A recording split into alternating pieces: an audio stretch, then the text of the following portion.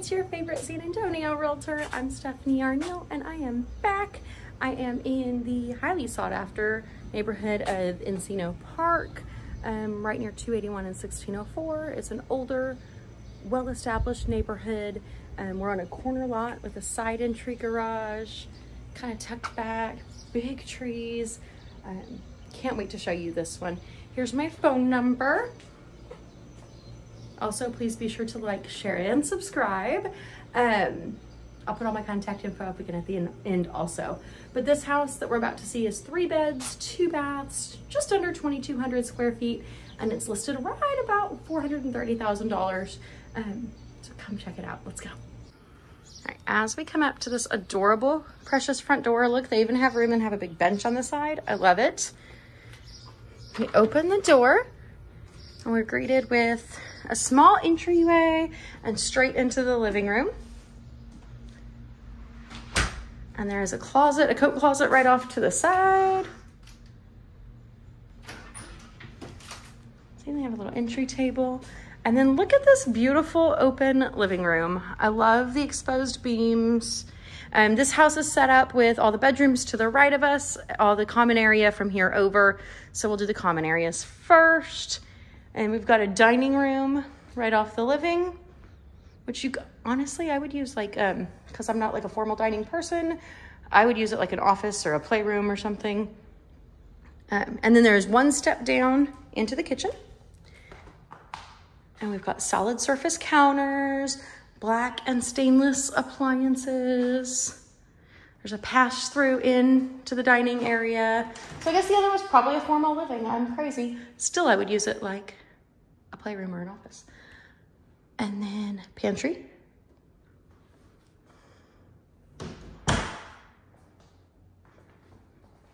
Casual, like breakfast area. They even have a TV mounted up here. And then there's a tiny, tiny little lip down into the laundry room. Washer, dryer, space for an extra fridge, or these guys have just an extra trash can there, and then just extra closet. It is wired for um, an alarm system. And then the garage is over here off the side. They do still have a car here. They're not living here. This is staged, but they just clearly haven't gotten quite all their things. Um, there's attic access, great big workbench, a giant big fat water heater, all the fun things in the water heater. I don't see a year on it. I don't see it offhand, but that's okay. There's a serial number. You could pull it if we really wanted to know. Um, two car garage, one big door with an opener. There's a sprinkler system over there is the panel. Let's get back inside though. There's so much more to see.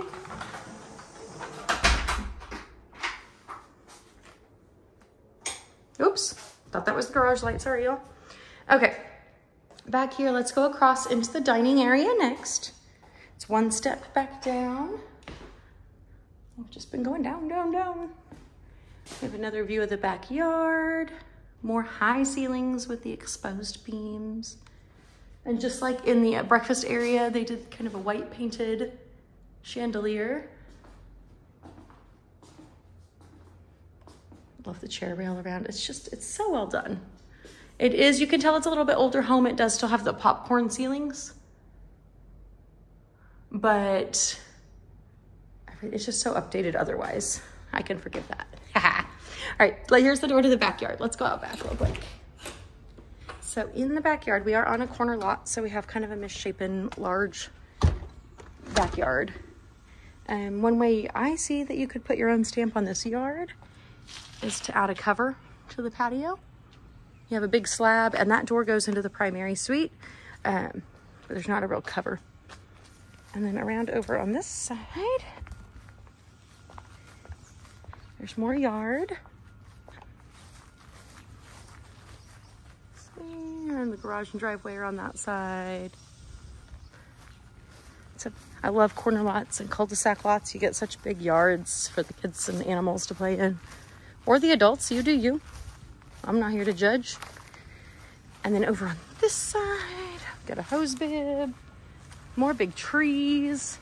There are gutters installed throughout and the AC unit is over on this side also. So let's get back inside.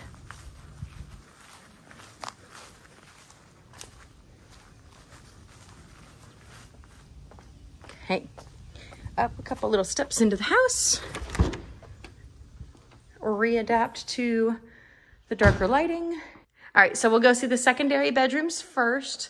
On the left doorway is the primary suite. The right side is the secondary. Um, oh, and I need to point out this adorable fireplace. It's a pretty stone fireplace, gas, or not gas, listen to me. It is a wood burning fireplace. I can't even talk, but that's okay. Lots of windows and all those shutters installed really great, make for great lighting and upgrades. And let's go down this hallway past this adorable light fixture.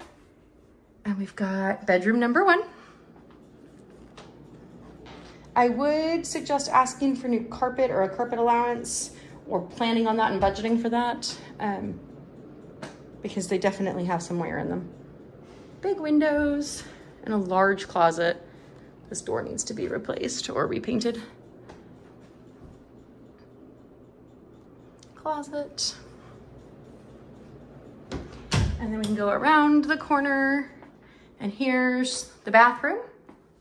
So it's the first of the, of the two full bathrooms. It's a double vanity, solid surface counters, beautiful mirrors. The light fixture, they have, has a couple bulbs out, but it's still pretty bright in here. And then toilet and tub shower combo. Whoops. I was just trying to get that light on, y'all. I'm a mess. All right. And then air conditioner closet.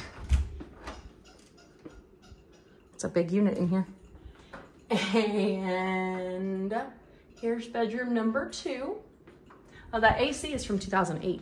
So it's not super new, but it's still pretty cool in here. So it's working. It's a workhorse. All right, bedroom number two. Smaller window than the first one, but it also does have a big, big closet. Kind of a mustard yellow closet. And then attic access in here as well. And I think they learned their lesson about pulling the mirror off the door because they left that one. They must have tried the other bedroom first. I'm just saying. That's just my guess, y'all. All right, let's go over to the primary suite now. Past a little bar, desk space, workspace. Look at that. I love it. I don't know what I would use it for except for just to gather all the stuff, but it could be a good coffee bar actually. okay, anyway, primary suite. Very large bedroom, high, high ceilings. There's that door to the backyard. Let me come over to this corner. There's that door to the backyard. Then it's the closet door and then the bathroom. So the closet has some built-ins. Also has a sweet little vanity sitting in there that I love. Um, lots of room. Even has a little, a little up high window so you can get some ventilation if you need it. And then let's check out this primary bathroom because I'm in love with it. This is where they spent all the upgrade money. I love it. So fun, fun, fun tiles on the floor. And then, look at that vanity, double vanity, pretty lights, beautiful standalone soaking tub with a large frosted glass window. A large, large walk-in shower with the seamless glass. And I love that they use the same tile up in the shower also window for ventilation, and of course the toilet, because hmm, bathroom. But look at this light they installed up here too. There's a control panel on the wall. It has night light mode. It's got regular light mode. It's got a fan on it. And it actually apparently will play music. It says music. I don't know how to make that work. But that's super fun and a cool idea.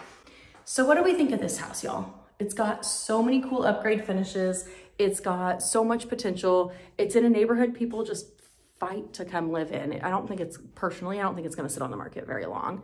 Um, so call me, text me. I'm gonna get this one up as quick as I can after posting it so that y'all have a chance to see it and can call me so that we can get you in here because this one's awesome. It's all one story. There's very few steps in the house. Um,